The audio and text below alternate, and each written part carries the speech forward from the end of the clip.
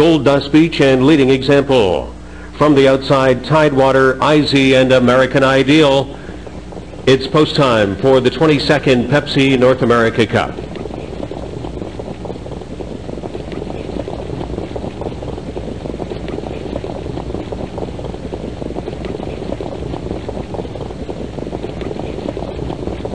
Sixth race, the 2005 22nd Pepsi North America Cup, and they're off. Leaving along the inside is Runover Feeling. Rocknroll Hanover taking measure. Stonebridge Regal out very fast. Off stride is Load the Dice. Cam Spool comes away in fourth. Leading Example is going to tuck over in fifth position and raced away in sixth was Gold Dust Beach into the first turn. Tidewater seventh at the outside. Load the Dice back down pacing in eighth. Second to last is IZ and American Ideal was 10th. It's a front end battle that's on. Stonebridge Regal is going to eventually release the race favorite Rocknroll Hanover 25 and 4. Two ticks away from the fastest cup first quarter in history, Rocknroll Hanover. His to win or lose, and he dictates the pace from here. Stonebridge Regal came away in second. Runover Feeling is third. Cam Spool, very uh, bully there on John Campbell. He demanded to be brought out from fourth. Leading Example wants cover. He's second out from fifth. Tidewater sixth on the outside. Gold Dust Beach is seventh. Load the Dice is eighth.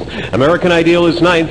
IZ tenth on the outside. 54 and 3. They made the halfway point a modest second quarter of 28 and 4. Rocknroll Hanover has Cam's Spool first over and Stonebridge Regal in the box and the hard closing leading example positioned second over onto the final turn. Run over Feeling following along in fifth. Tidewater sixth on the outside. Seventh on the outside. Spotted fourth over is Load the Dice. Then Gold Dust Beach, American Ideal. IZ was 10th on the outside. Rocknroll Hanover and Cam's Spool. Stonebridge Regal and leading example. Tidewater on the outside. 123 and 4 and down the stretch in the 22nd renewal of the Pepsi North America Cup. He was no one-hit wonder. This is rock and roll. Make it rock and roll, Hanover. Rock and roll, Hanover totally house at Woodbine to defeat Stonebridge Regal. Run over feeling. Cam Spool was fourth, 149 and 4. And it was all rock and roll, Hanover.